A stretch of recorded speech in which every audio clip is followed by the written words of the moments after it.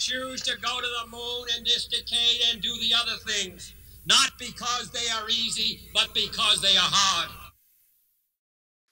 In 1962, JFK gave his famous speech, highlighting his vision and challenging the nation to land a man on the moon before the end of the decade.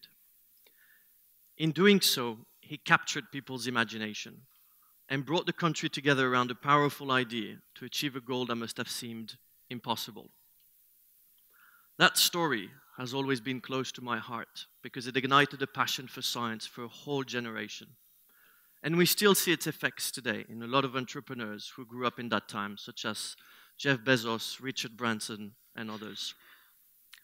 My own passion for science, growing up in the time when the Hubble Space Telescope was launched and the space shuttles flew, and the beginning of the International Space Station, led me to spend countless nights outside with my own small telescope under the clear skies of outback Australia and the countryside of southern France. It led me to pursue science studies, knowing that one day I would contribute to major scientific breakthroughs. Turns out I never made it past the first year. But that passion stayed with me, and I became instead a science writer and communicator. And this led me to another powerful idea, one that winds through space and time and through Macclesfield, and which is bringing not just the country, but the world together. And in doing so, it is showing me that everyone can play a part in science. This powerful idea began with a seemingly simple question What did the universe look like when the first stars and galaxies formed? But to answer it, we need to build not just a telescope, but a time machine. We need to look back 13 and a half billion years ago to the cosmic dawn. You see, astronomy is like archaeology. In archaeology, the further you dig, the more you go back in time. In astronomy, because light has a finite speed, the further you look, the more you go back in time. So we are essentially flipping back the pages in the book of the universe, back to one of the very first chapters. But flipping those pages comes with many challenges. And let me highlight just three of them for you today. To look back this far, we need to build something truly massive. And this is our first challenge the scale we have to build a telescope a hundred times the size of the nearby Lovell telescope at Jodrell Bank, which is still today the world's third largest single dish. In a sense, we have to build a square kilometer of collecting area. We can't physically build something that big, otherwise, this happens. So instead, we are making the most of increasingly sophisticated computing and building instead a network of smaller radio telescopes and connecting them together. We're building an array. And that is how the concept of the Square Kilometer Array, or SKA for short, was born. So if you think that the world's largest array of telescopes today is composed of 66 antennas, how many do you think we're building to look back to the early universe? 67? 90? 100? No, we're building 200.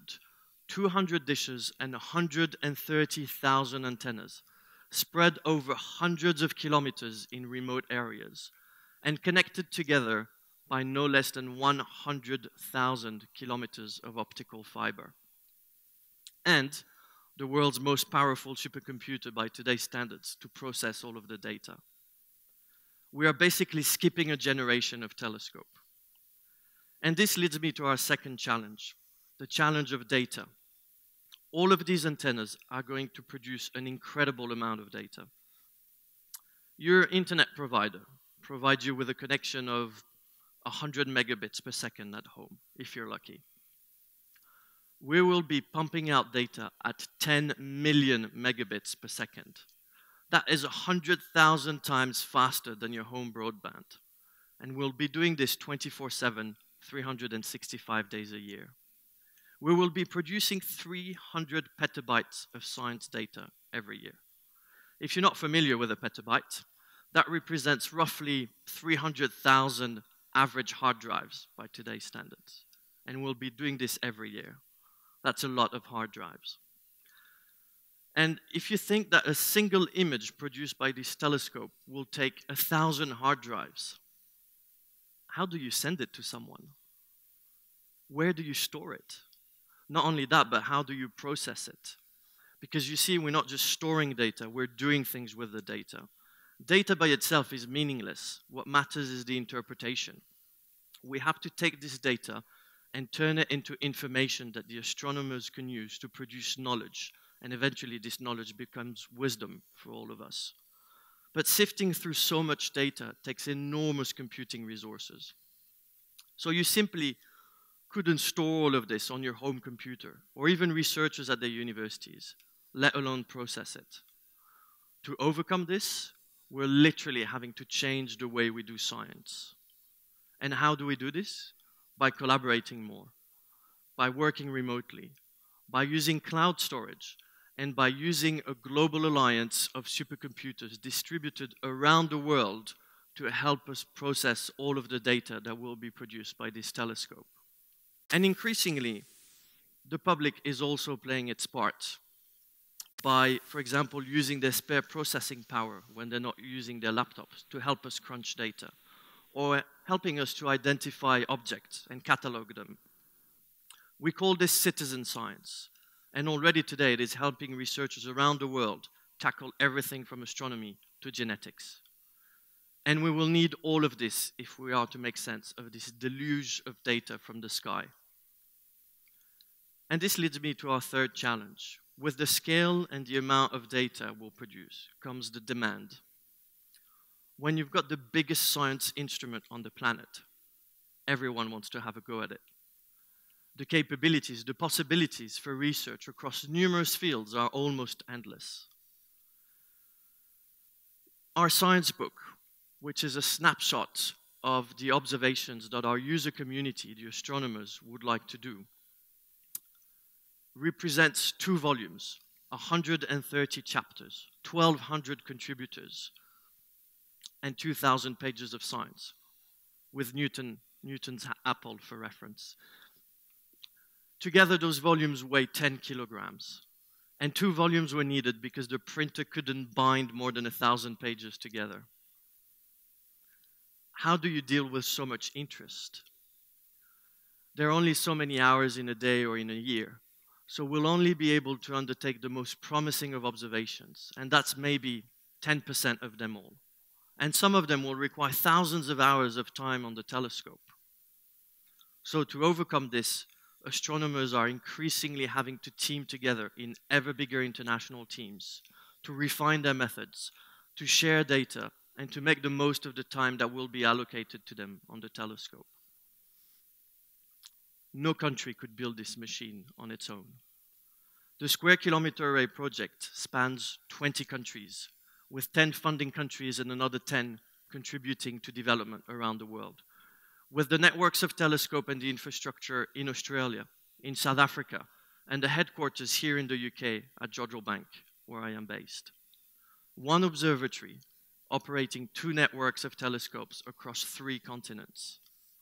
Over a thousand scientists and engineers spread across 20 time zones are working hard to make this a reality.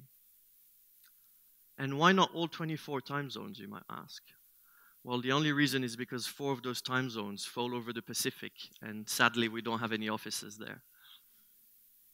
And just think for a second how hard it is to schedule conference calls that suit everyone.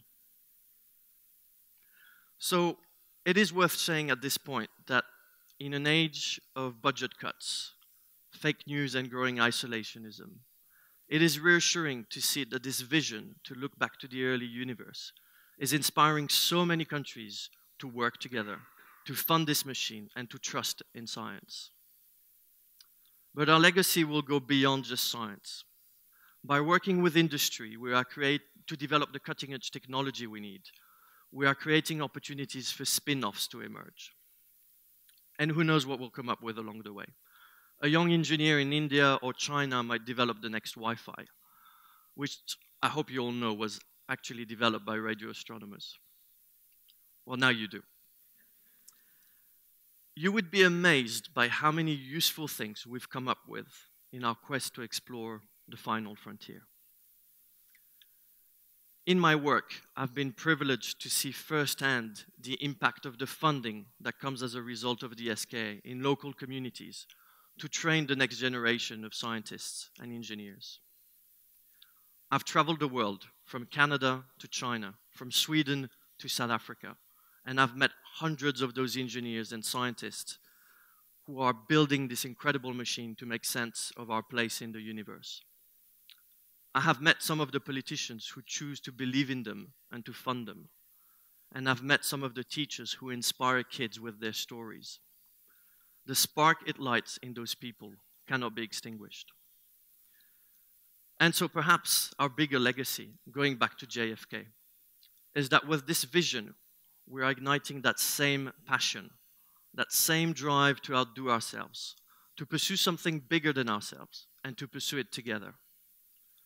And as JFK then said, we do these things not because they are easy, but because they are hard. Because by that goal, we measure the best of our energies and skills.